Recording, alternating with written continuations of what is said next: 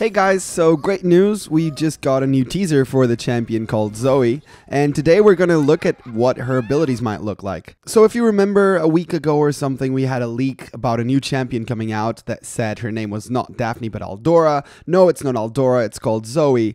And the too long didn't read of her spells was that her passive would make her jump between bubbles, her Q would shoot bubbles in a line, her W would make enemies sleep when they hit bubbles, and her E would allow her to control bubbles.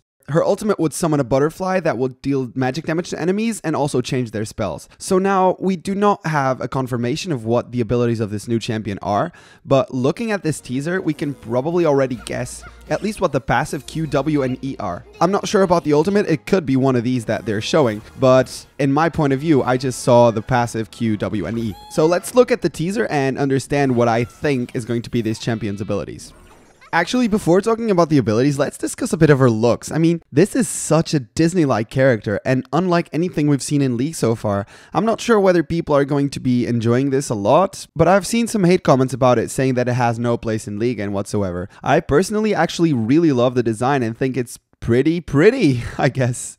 So the first thing that pops to mind in this little interaction with Viktor is that she obviously flashed twice. So I would guess that her passive is that when enemies use spells or also item actives, which we'll see in the last clip of this teaser, they'll drop little spell bubbles which Zoe can actually pick up and use herself, but she will most likely have a limited time to use them, and I would say that she gets empowered auto attacks from them, as you can see from the three little bubbles that she gets after using a spell. Now, I'm quite confused as I haven't seen this champion actually use auto attacks without using a spell first. So I'm wondering, will this champion actually have access to auto attacks without the use of spells beforehand? Well, I guess we'll have to wait for that one. Moving on to the Tristana interaction, she is probably using her Q, which is a tennis racket and a ball. She probably cues it to one spot, then cues it again for the other spot, just to show you that she can recast it really quickly in between.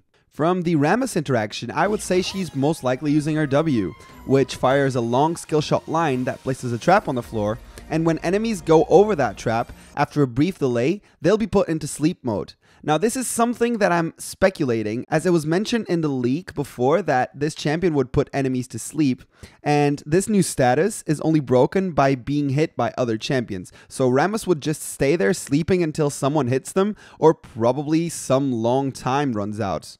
This little interaction with Aurelion Sol actually got me quite confused about one thing. For the second time, she's used her Q or her tennis racket, whatever you want to call it, in a really far away position from her enemy, and only on the second cast does she actually point it at the enemy. Now, does it do more damage on the second cast, or can't you even cast it at first to enemies? The second thing about this interaction is that she creates a portal, which I am going to think that it's going to be her E ability, and she goes in between those two portals. This could be really interesting to dodge skill shots, but it does not allow you to go through walls as she probably will always hop back to the initial portal. And finally, this last interaction with both Taric and Jinx is pretty confusing. Well, it seems confusing at first, but when I broke this down, it actually made a lot of sense. So she flashed herself and both the enemies flashed. So that means that she can pick up both bubbles to flash two more times. You can also see two item actives on the floor, which I'm reckoning she might be able to use as well. The enemy also used Cleansed, and that dropped Cleansed, which means that any summoner spell used, Zoe will probably be able to pick it up and use it. She also uses her tennis racket, and simply the OPness of using three flashes is amazing. Now, I don't think we've seen her ultimate yet. I think they're keeping it a secret because we only see three abilities. But I reckon it will have something to do with the butterfly that they've talked about. And if it actually does change the enemy summoner spells, I really want to see what they're going to be changed to. And that means that she will be able to use those summoner spells herself.